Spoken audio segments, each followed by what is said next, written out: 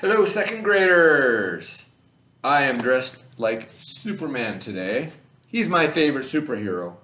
Um, I am in no means like Superman. Okay, nothing like Superman. Couldn't be Superman if I tried. But he is my favorite, so I am dressed as Superman, cape and all. So um, maybe if you're not wearing a superhero T-shirt, sweatshirt, you might go put one on.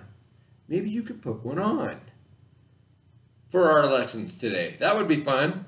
Just to, so we can be one. We can all be superheroes because, after all, we all are. At least I think all you guys are superheroes.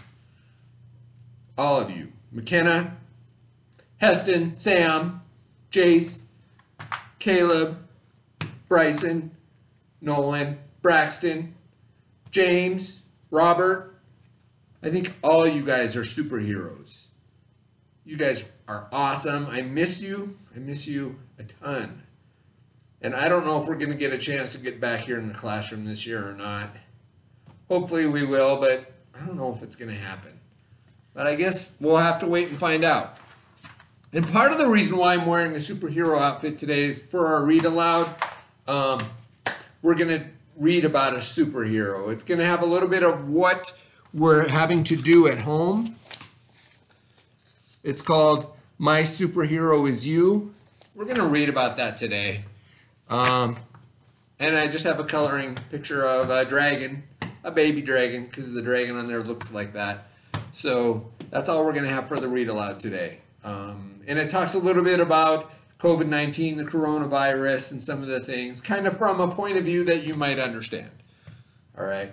But before we get started on all that stuff, want to start with calendar like we always do. So, what month is it? What month are we in? Right? April. April showers bring, and May flowers bring, you better know by now. Okay? And what is the day of the week? Somebody in the room. I like to pretend that you're actually here. Because I wish you were. The day of the week would be Monday. I think Spanish for Monday is lunes. All right. Um, what is the date? The date. What color is it going to be? And what is the date? Today would be the 20th. Somebody's birthday is tomorrow. I wonder whose birthday that's going to be tomorrow. Hmm.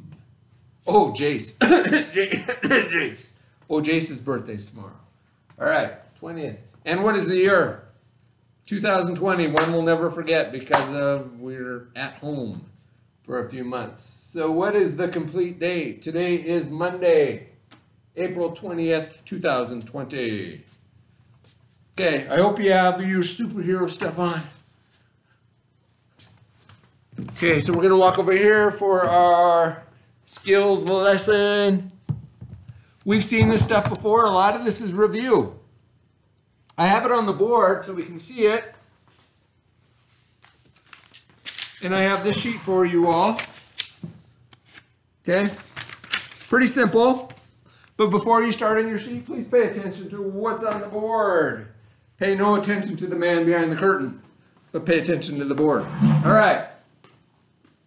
We have the letters ED, ED, ed, maybe, or it makes three sounds if you remember. They are all, first of all, past tense.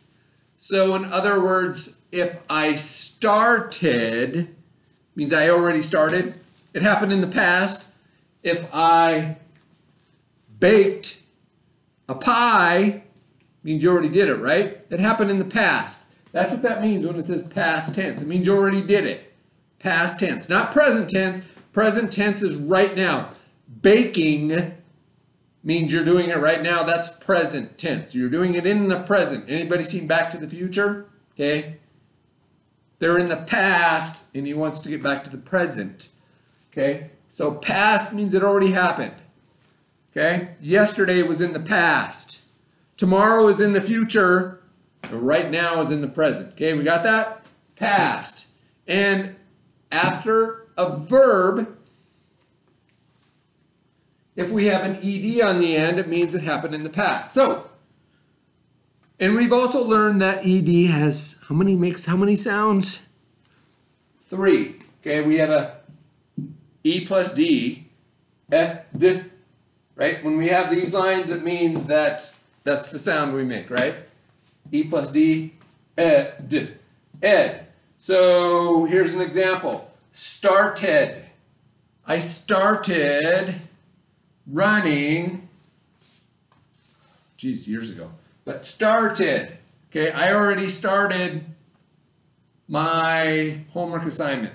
Okay, I started painting a beautiful picture. Okay, so ed is making an ed sound. Start ed, started. Okay, sometimes ed makes a d sound, just d, like stayed. I stayed home yesterday. Stayed. It's still spelled ed, but it just has the d sound. Stayed. Started, stayed, and the last one, sometimes the ed makes a sound. Like baked. I baked a pie yesterday. All right? I baked a cake yesterday. I baked bread last night. And notice I'm saying everything happened in the past. I did it yesterday, last night. I started this morning, all right? So if it has ed, it happened in the past, so it's past tense. All right. You guys are ready to move on? I need a pencil so I can do one of these with you. All right, so what we want to do on number one, num one and two are done for us. Okay, I need. Okay, I need. So if it was yesterday, if you needed something, you would say I needed. I needed. I put an ed on the end. So pretty simple. We need to do that. And these are all ED have a E plus D sound and ed sound. Started, wanted, needed. Okay? Down here, it is spelled with the ED, but it just has the D sound. Like called, opened, it has an ED. Still, it's spelled with ED, but you just make a D sound. And on the next page, it is spelled with ED again, but it makes the T sound.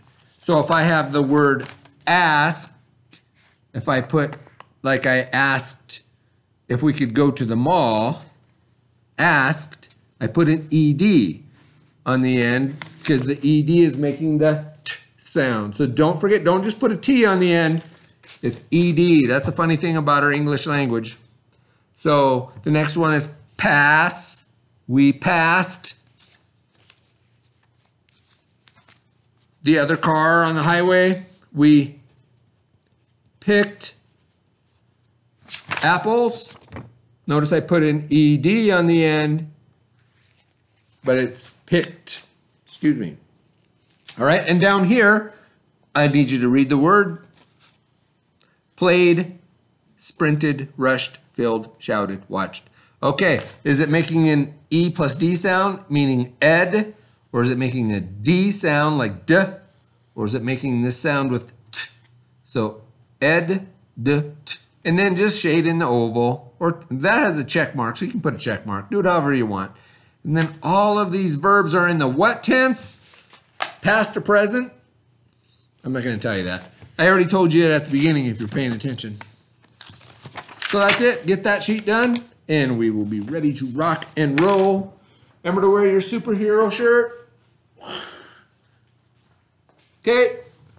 Bye, I'll see ya. After you get done with this, take a break, get a drink of water, use the bathroom. You don't even need a hall pass. Do some chores for mom and dad. Give them hugs. Tell them how lucky you are and how much you love them. And I'm lucky to have taught all of you for the most part of this year, and I really miss you. So. We'll see you guys. and then come back for math.